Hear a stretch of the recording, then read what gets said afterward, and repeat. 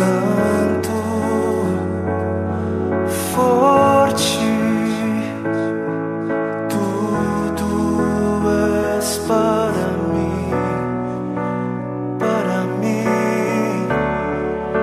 por causa do